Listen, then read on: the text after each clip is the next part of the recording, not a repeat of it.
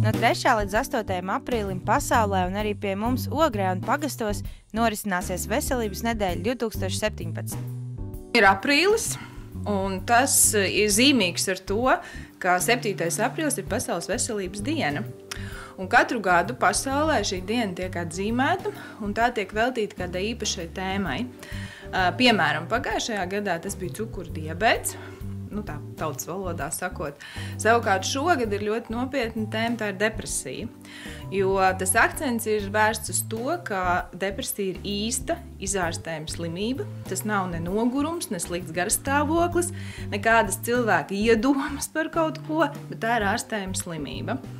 Un Tātad, eh, lai mēs mazinātu šos depresijas riskus, kas, protams, ir apātija, slikts uh, uzturs, nogurums, jā, varbūt nevērība pret sevi un, un vēl dažādas citas lietas, kas mums ikdienā gadās ik uz soļa Eh, regulāri divu mēnešu garumā, tad eh, nu, lai šo te mēs nepieļautu, audzētu paši sevi un arī savus līdzcilvēkus. Eh, protams, ka nozīme ļoti liela ir fiziskajām aktivitātēm, veselīgam uzturam, atkarīgu vielu un procesu ierobežošanai.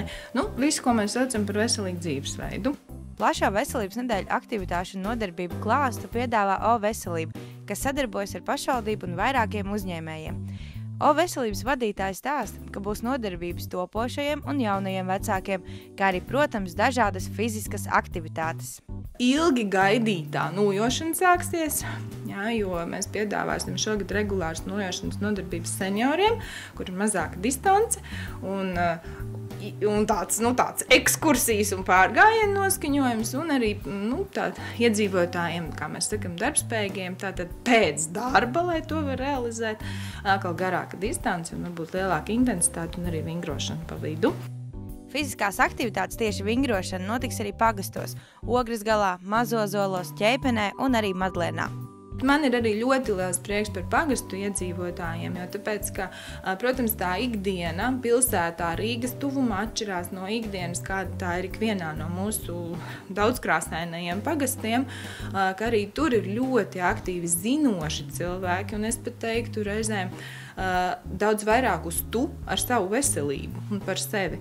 Jo nu, mēs jau zinām to, ka visi gribam būt veseli, jā, mēs, bet mums jāsaprot, ka katrs pats tikai var uzņemties atbildību par savu veselību, saprast, ko vajag, un tad ir grūtākais disciplīna.